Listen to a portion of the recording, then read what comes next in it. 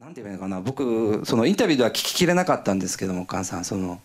あの時に日本を背負ったわけじゃ背負ってたわけですよ菅さんはね。ほいで全くその情報がが錯綜しててよく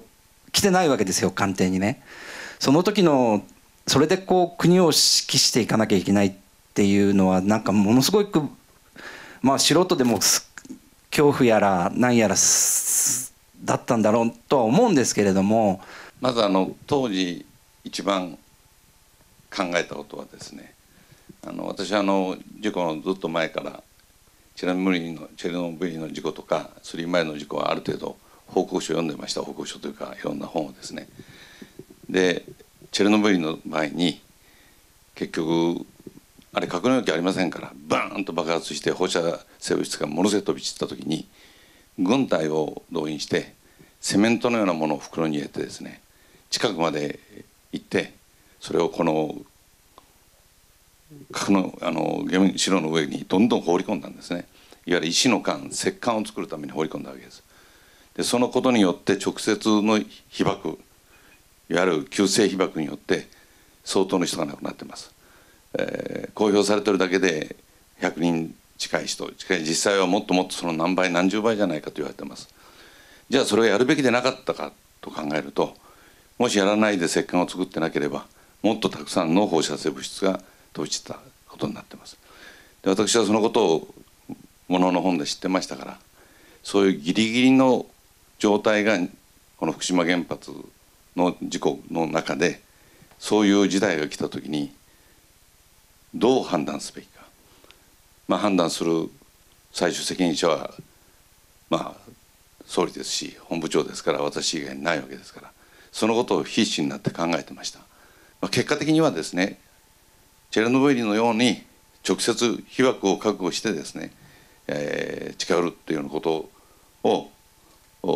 そこのギリギリまではいきませんでしたからあのそういうギリギリの判断ということは、まあ、結果としては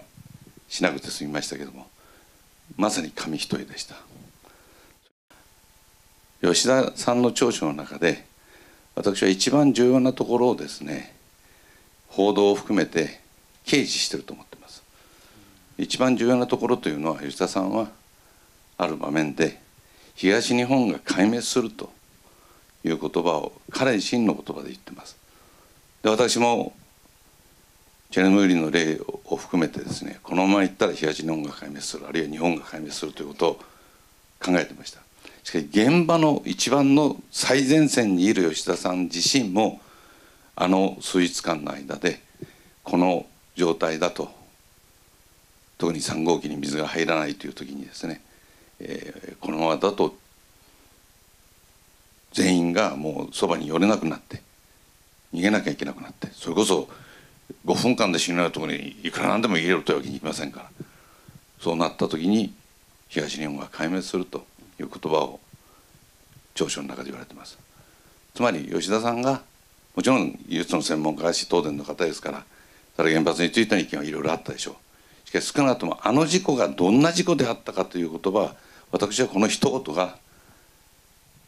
もう一番よくわかる。